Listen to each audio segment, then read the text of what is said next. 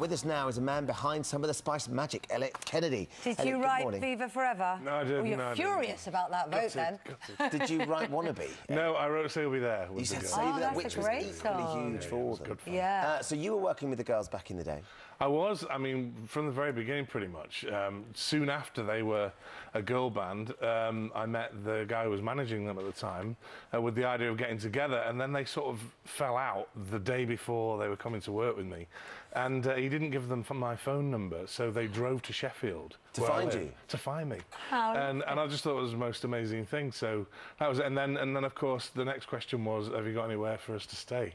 So so they ended up crashing at my house, Did which they? was brilliant. Yeah, we had, all of a sudden I had five new sisters. You know, it was brilliant. Spice Girl Gatecrashers, love it.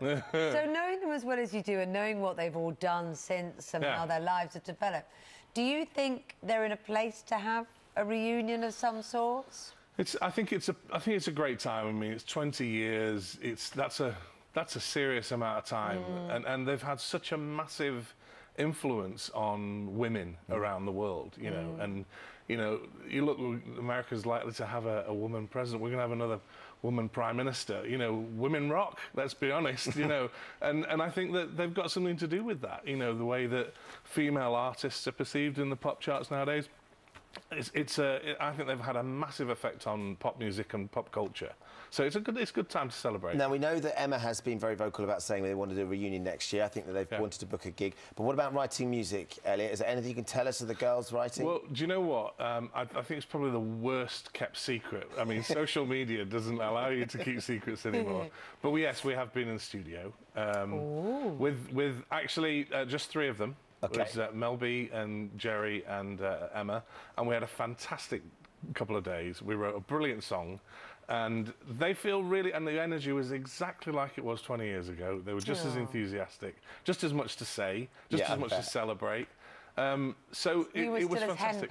presumably. Yeah, of course, of course. Yeah. so this song that they've written, is that for the Spice Girls? Is it for the three of the girls? Is it going to get released soon? Who knows right now? I think it's it's in a bit of a state of flux. I mean, they've they've got lots of plans that they don't tell me about. Uh, they've actually released a little video on social media this morning about celebrating and wanting some kind of birthday party.